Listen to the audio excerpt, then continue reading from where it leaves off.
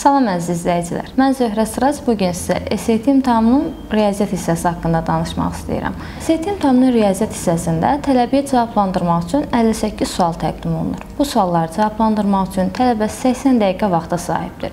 İmtahanın riyaziyyat hissəsi 2 bölməyə ayrılır. Bunlardan birincisi kalkulyatorsuz, ikincisi isə kalkulyatorlu hissədir. Birinci hissədə adından görüldüyü kimi kalkulyatorun istifadəsinə icazə verilmir. Bu hissədə tələbəyə 20 sual təqdim olunur. Bu 20 sual cavablandırmaq üçün tələbə 25 dəqiqə zamana sahibdir.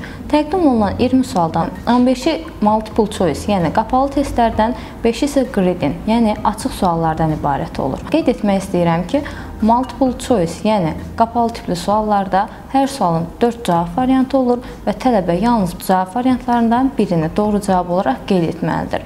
2 və ya daha artıq cavabın cavab kartında doğru cavab olaraq qeyd edilməsinə icazə verilmir.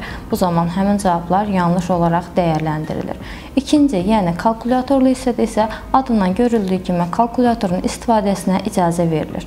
Bu zaman tələbəyə 38 sual təqdim olunur və bu 38 sual cavablandırmaq üçün tələbə 55 dəqiqə zamana sahibdir. Təqdim olunan 38 sualdan 30-u e, multiple choice, yəni qapalı testlərdən, 8-i isə grid in, yəni açıq suallardan ibarət olur. Qeyd etmək istədiyim əsas faktlardan biri isə odur ki, əgər tələbə sectionlardan, yəni hissələrdən birini bitiribsə, digər hissəyə keçə bilməz. Belə ki, qeyd etdiyim kimi kalkulyator hissədə tələbəyə 20 dəqiqə vaxt verilir.